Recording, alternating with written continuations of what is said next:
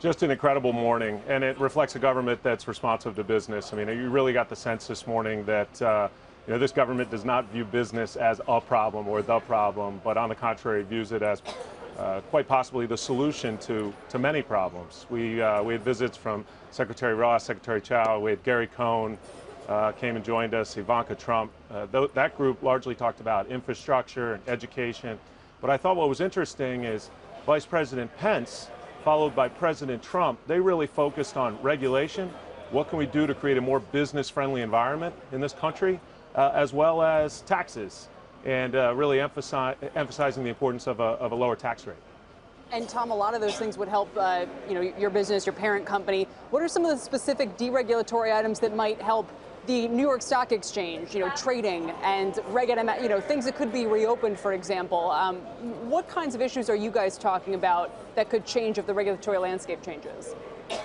Sure, and just to just to cue in on the first part of your question, sure, it could be good for our business, but but a lower corporate tax rate could be good for business writ large, and that's good for society. I mean, it's money that could go back into the economy. It could go back into investors' pockets, which is not such a bad thing. Ultimately, move towards innovation.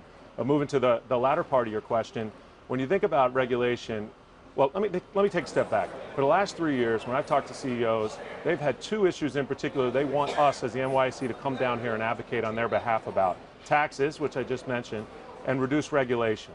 So you talk about specific regulations. President Trump mentioned Dodd-Frank. There are a few regulations in Dodd-Frank that we've advocated loudly and strongly that we take a fresh look at and make sure that they're really serving a, a bona fide purpose and they're not just hindering business. For example, uh, uh, the pro proxy access rules, uh, even, even the conflict minerals rule, certainly a laudable goal to make sure that people are not exploited in the pursuit of minerals. Uh, but the way the, the rule was implemented, if you talk to corporate leaders in this country, they say it's more a problem than it is anything. Uh, Tom, not every day you get that caliber of CEOs gathered together in one room. Give us a sense of uh, the conversation in the room, whether it's on these topics that you've mentioned already or other topics. Here we are at the start of the second quarter with confidence high, but a lot of uh, geopolitical issues and economic issues looming.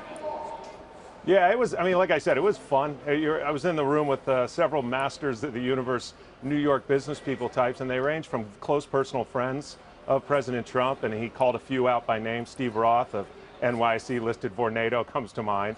Uh, uh, as well as uh, just titans of industry, Mike Corbat of Citi, and, and, and, others. And I didn't know exactly what to, to, to expect, but I can tell you that my sense, and I don't want to speak for others, but my sense was there's a consensus that this administration, this president's moving the right direction, specifically with respect to regulation and taxes. So there was a good feeling in the room.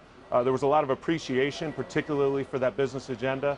And, uh, you know, it went very well from my perspective. It, it felt like a good two-way dialogue, and it fe felt like the administration is really taking in the views of, of job creators and business leaders, such as were arrayed here in the White House today. Hey there, thanks for checking out CNBC on YouTube. Be sure to subscribe to stay up to date on all of the day's biggest stories. You can also click on any of the videos around me to watch the latest from CNBC. Thanks for watching.